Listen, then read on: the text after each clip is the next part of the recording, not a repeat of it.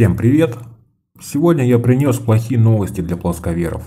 Всем известный сайт FlightRadar24 наконец-то заработал в полную силу.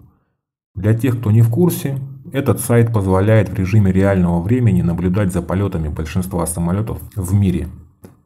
Принцип его работы довольно прост. На самолете установлен специальный передатчик, передающий в эфир свои данные – эти данные включают в себя опознавательную информацию, такую как тип самолета, его бортовой номер и принадлежность, а также текущую информацию о координатах, высоте, скорости и так далее. Всю эту информацию принимают как наземные службы, так и радиолюбители, если у них имеется соответствующее оборудование.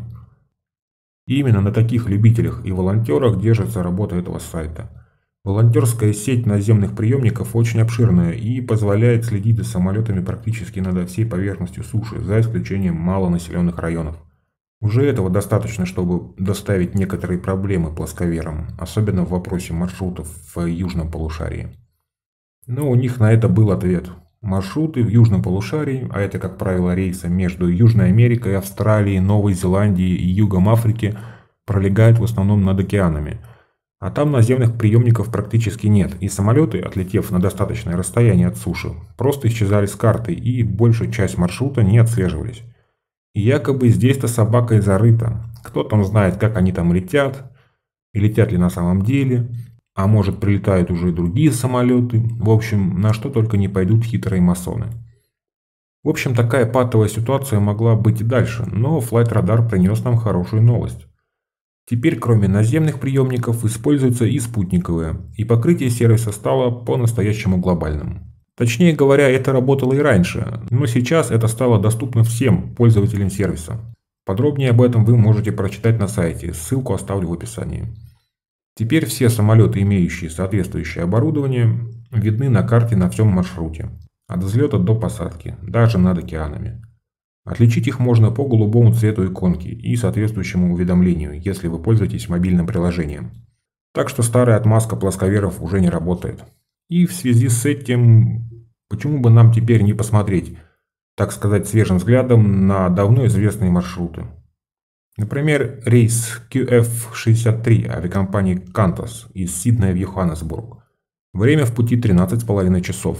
Обратный рейс QF-64 и того меньше, около 12.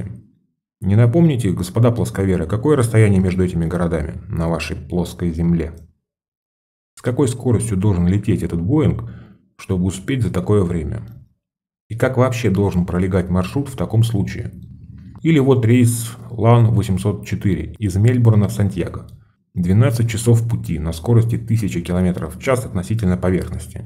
Что-то тут не сходится у вас, господа. Либо ваша карта врет, либо этот самолет может летать со скоростью 2500 км в час. Пока никто не видит. Про маршруты я вообще молчу. Вот еще один похожий рейс. Лан-801 из Сантьяго в Окленд. Те же 12 часов, правда расстояние тут поменьше. И летит он против ветра. Рейс Лан-802 из Сиднея в Сантьяго. 12,5 часов. Рейс Буэнос-Айрес-Окленд – все те же 12,5 часов. Так какие же расстояния между этими городами? Плосковеры, что скажете? Хотя я примерно представляю. Я уже протестировал эту новость на одном из ваших. Сначала он пытался нарисовать карту, где все расстояния соответствуют. Ожидаемо у него ничего не вышло. Затем он попытался объяснить это джетстримами. Кто не в курсе, это такие воздушные потоки на большой высоте, которые непрерывно дуют с запада на восток. И они якобы помогают так быстро долететь. Ну, во-первых, скорости у них явно маловато, обычно 100-150 км в час, в редких случаях больше. И это никак не поможет разогнать самолет до скорости 2500 км в час. И во-вторых, это помогло бы только при полетах на восток. И рейсы на запад были бы невозможны при таком раскладе. Но они есть, и время в пути у них не намного больше. Ну а потом прозвучала обычная плосковерская «Нам пока ничего не известно, все нужно изучать». Ну так изучите уже. Давно прошу. Где ближайшие авиакассы, думаю, сами найдете.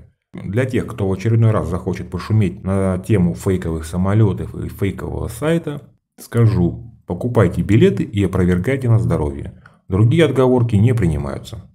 Тем более у вас там парочка так называемых исследователей, Собирается куда-то там полететь и что-то там исследовать. Вот пусть и исследуют.